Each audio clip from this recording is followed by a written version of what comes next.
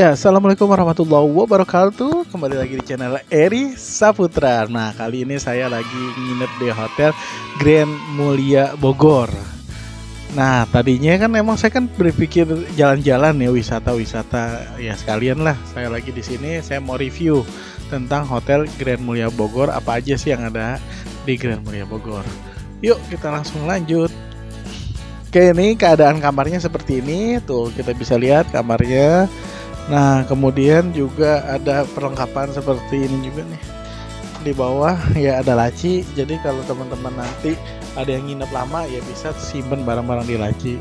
Kemudian fasilitas lainnya ada TV, ya kemudian kaca, ya bangku. Nah, di kamar mandinya nih seperti ini kamar mandinya. Oke, bisa dilihat sendiri kamar mandinya ada air panas dan ada air dingin ya showernya. Ya cukup lumayan. Oke, terus kita lihat keluar ya. Ya, sekarang saya lagi keluar, lagi di lorong menuju coffee shop, kemudian juga menuju kolam berenang. Ya cocok sekali buat liburan keluarga ya. Nah ini lobbynya ya kita bisa lihat sangat luas sekali dan enak. Nah terus dari lobby kita bisa turun ke bawah. Ya.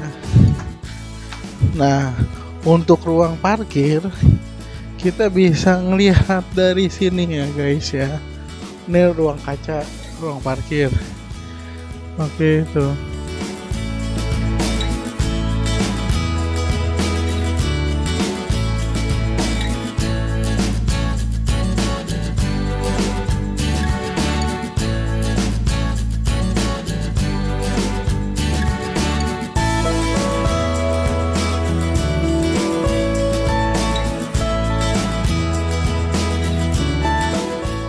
Oke lebih jelas lagi kita bisa lihat di sini ya untuk tari lapangan yang tadi kita lihat dari atas.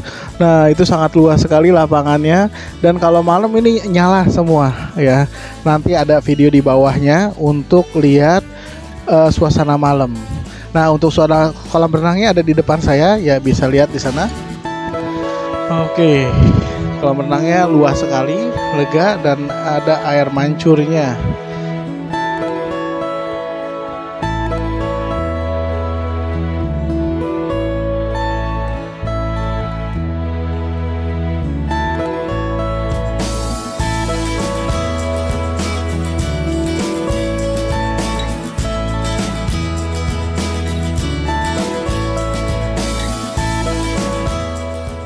Nah, di sini biasa dipakai buat wedding ya, di sini wedding outdoor.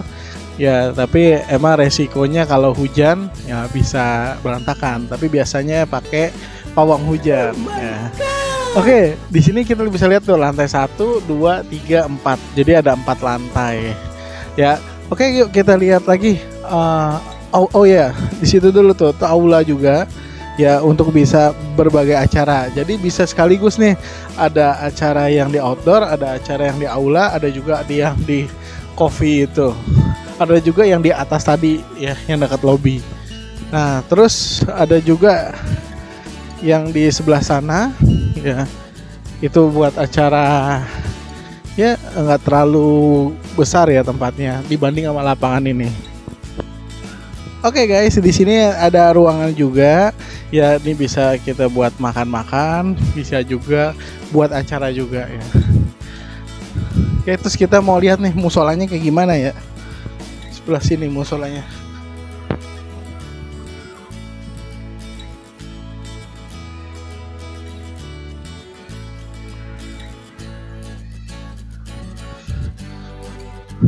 Oke, di sini tempat wudhunya. Ya, kita tes ya. Ada airnya nggak ya? Coba kita tes. Wah, nah ya.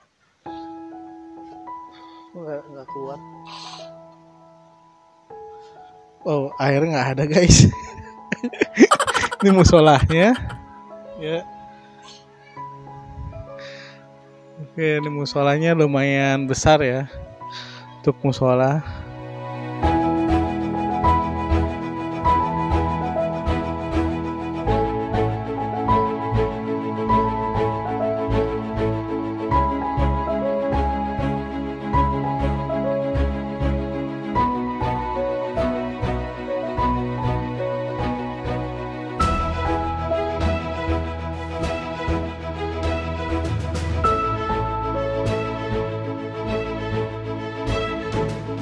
Oke guys, sekarang saya udah di depan kolam berenangnya. Ya kayaknya lihat seger-seger gini kolam berenang enak banget ya. Apalagi ya siang-siang kayak gini ya jam 9 masih seger lah untuk berenang. Oke, saya mau berenang dulu ya.